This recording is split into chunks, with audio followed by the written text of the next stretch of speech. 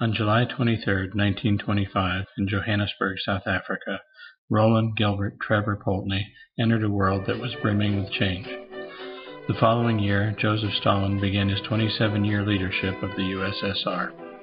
In 1927, the jazz singer with Al Jolson debuted as the first talking moving picture, followed by the first broadcast of a rugby match from Cape Town in 1928.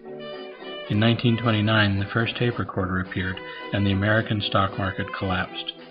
In 1930, when Roland reached the ripe old age of five, white women were granted the right to vote in South Africa.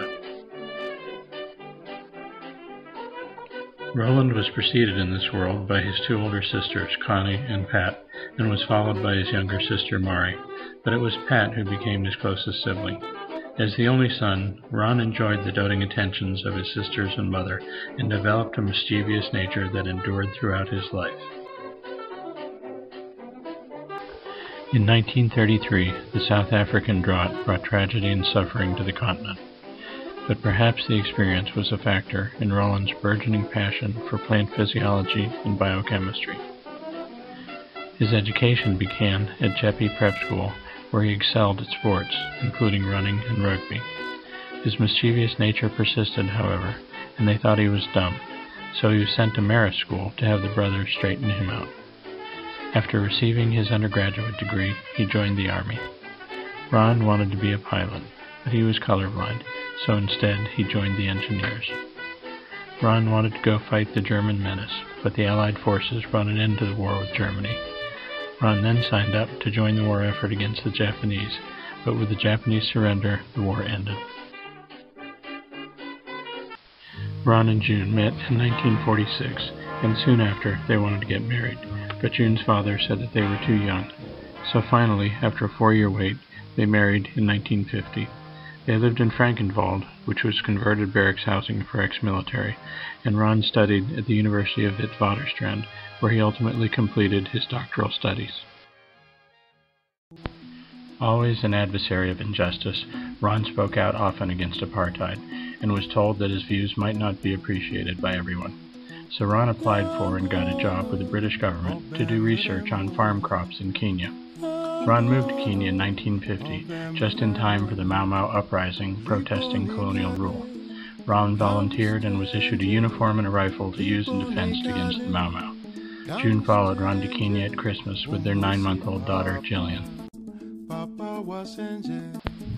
Initially, living conditions were Spartan, but in 1953, the Kenya Agricultural Station was completed, including modern new housing. Bridget was born in 1954, and Elise was born in 1958, and the family set about enjoying the beauty of Kenya. On December 12, 1963, Kenya was granted independence from Great Britain, and all British colonials lost their jobs. Houses and possessions were abandoned as everyone left the country. The family went to England in 1964, Ron went to Rome to apply for a job with the Food and Agricultural Organization of the United Nations. Now employed, the family moved across the globe to Ron's new work assignment in Uruguay, where Ron realized his dream of owning a sleek sailboat that he named the Apple. The girls went to school in neighboring Argentina aboard the hydrofoil Aliscafo. Uruguay was followed by Brazil. Brazil was followed by Panama, Panama was followed by Ecuador, and Ecuador was followed by Belize. Who knew how prominently Belize would figure in their lives?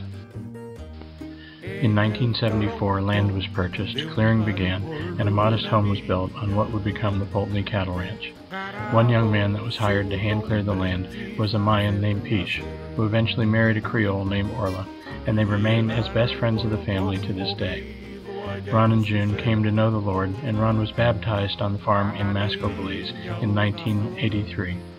They then moved to San Pedro on Ambergris Caye and started a church.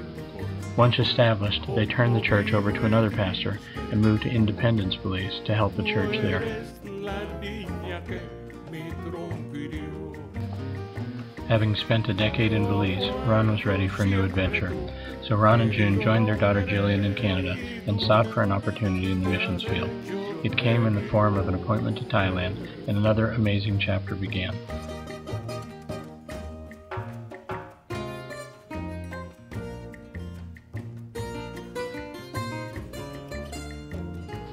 After learning to speak Thai and making many new friends, Ron and June returned to Belize once more and built a home on the Caribbean. After five more happy years in Belize, Ron and June came to the United States and continued to share their love of the Lord. The next 10 years were filled with family gatherings and vacations, holidays and celebrations, and quality time spent with loved ones.